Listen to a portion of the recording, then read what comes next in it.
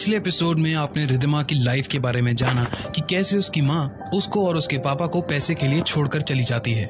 और एक hotel room में बैठकर रिदिमा अपने कस्टमर का इंतज़ार करते हुए अपने पापा को याद करती है। अब आगे।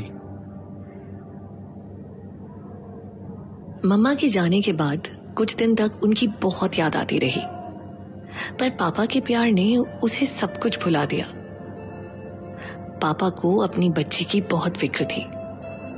उन्हें पता था उनकी सोना मम्मा के साथ इसलिए जाने से इनकार कर गई, क्योंकि उसे पापा को अकेले नहीं छोड़ना था। और उन्हें अब भी अपनी इस छोटी सी मासूम बच्ची का बहुत ख्याल रखना था। ज़िंदगी गुजरती जा रही थी, और अब तो रिद्धिमा बारहवीं क्लास में आ चुकी थी। वह पढ़ाई में अव्वल थी। सुरीली आवाज़ में जब वो पापा के पसंद के भजन गाती तो राह चलता राही भी थोड़ी देर के लिए रुक जाता। और खूबसूरत इतनी थी कि कभी कभी शशांक को शक होता। उस ऊपर वाले ने शायद अपने स्वर्ग की अप्सरा को धरती पर भेज दिया है।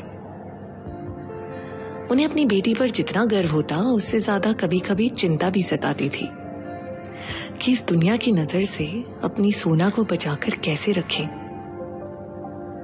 उन्हें अपनी बेटी को उच्च शिक्षा दिलवानी थी। पर इसके लिए उन्हें बहुत सारे पैसों का भी इंतज़ाम करना था। पर कैसे करें यह समझ में नहीं आता। यूँ तो रिद्धिमा के सामने वो इन बातों को नहीं कहते थे, पर अंदर ही अंदर इसी चिंता में घुलते जा रहे थे। एक दिन शायद इन्हीं ख्यालों में गुम, स्कूल से अपनी साइकिल पर वापस आ रहे थे। सामने से आता ट्रक उन्हें नज़र आया ही नहीं।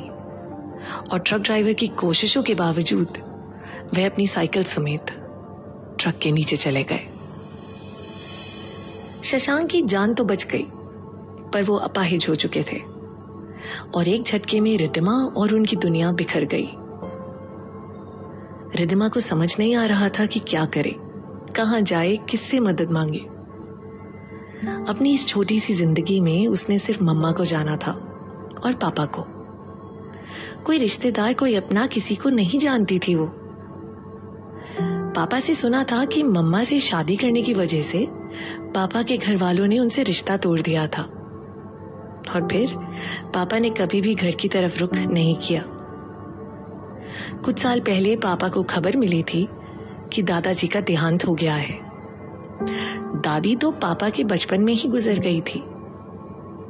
बस अब एक छोटे भाई थे। पर पापा को उन्होंने दादाजी के चले जाने का संवाद भी नहीं दिया।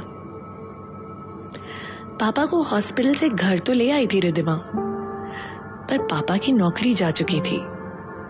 और रिदिमा अभी इतनी पढ़ी लिखी नहीं थी कि पापा की नौकरी उसे मिलती।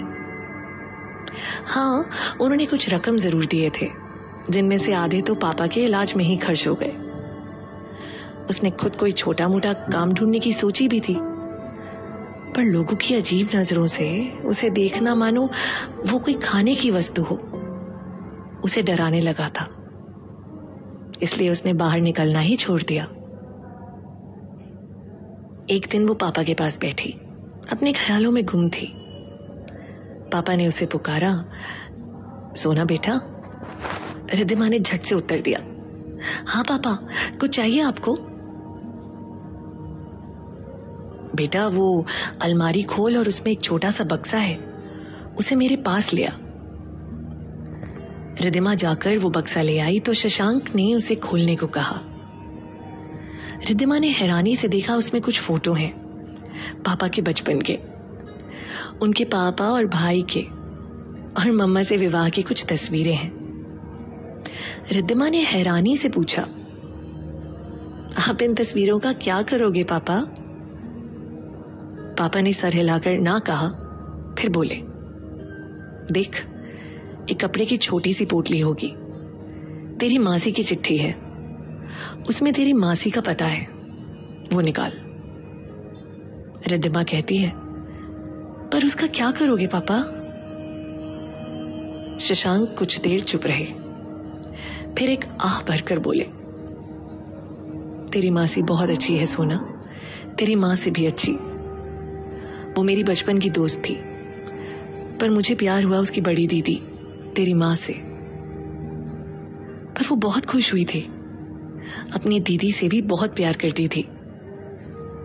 पर तेरी माँ को वो पसंद नहीं थी। शक करती थी हम पर। इसलिए तेरी मासी ने हमारे साथ मेलजोल बंद कर दिया। रिद्धिमा कहती है, पर इतने दिनों बाद वो क्या सोचेगी, पापा?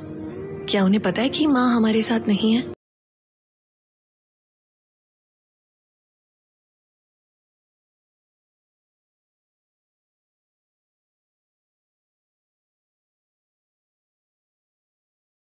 कोई मदद या तेरे लिए कुछ करना हो तो वो हमारे साथ है। पर मैंने ना कह दिया था। लगा था अपनी लड़ाई खुद ही लड़ना ठीक है। वैसे भी उसकी शादी हो चुकी थी। और वो ससुराल में रहती थी। पर अब लगता है एक वही है जो हमारी कुछ सहायता कर सकती है। रिदिमा पूछती है, पापा फ़ोन नंबर नहीं है आपके पास? शशांक ने सर हिलाते हुए उत्तर दिया, नहीं बेटा, ये पता ही है मेरे पास। मुझे पेन दे, मैं एक पत्र लिखता हूँ और हो सकता है कुछ सहायता मिल जाए। रिद्धिमा ने अपने पापा के चेहरे की तरफ़ देखा।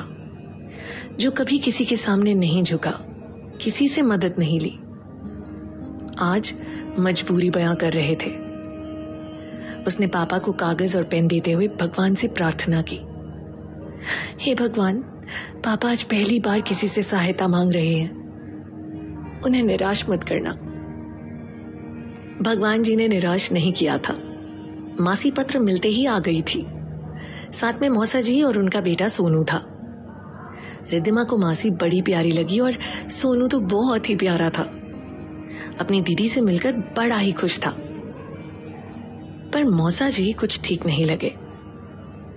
यूँ तो पापा से बड़ी सहानुभूति दिखा रहे थे, पर उनकी नज़रें रिद्धिमा को अपने बदन पर गड़ती हुई नज़र आई। इसलिए वो मौसा जी से थोड़ी दूर रहने की कोशिश करने लगी। पर जब मौसा जी ने उन्हें मुंबई अपने घर ले जाने का प्रस्ताव दिया तो रिद्धिमा से ज़्यादा मासी चौक पड़ी।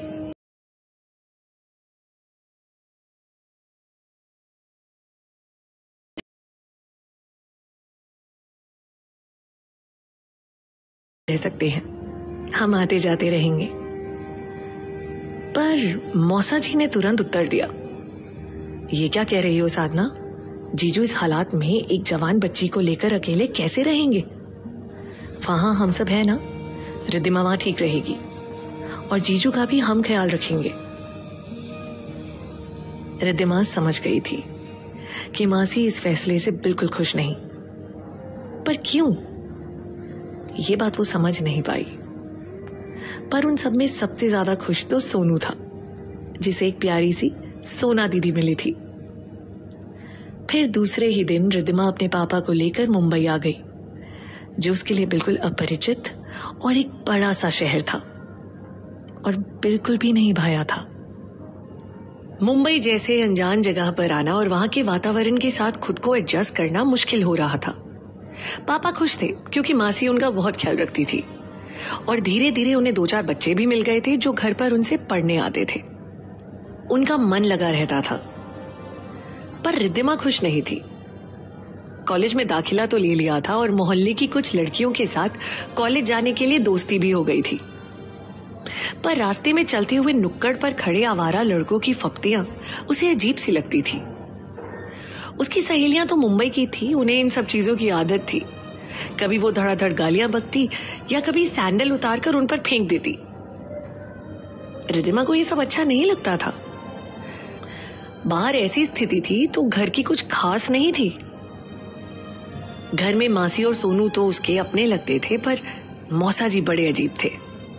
उनका रिद्धिमा से बात करने के बहाने पास आना, छूने की कोशिश करना, रिद्धिमा के लिए असहनीय था। इसलिए वो रोज कॉलेज जाती थी, जिससे कम से कम कुछ समय तक मौसा जी की नज़रों से बच सके। अगले एपिसोड में जानिएगा कि कौन है वो नीली आँखों वाला लड़का, जो रिद्धिमा को नुक्कड़ और कॉलेज में घूरता रहता है। सुनना ना भूलिएगा।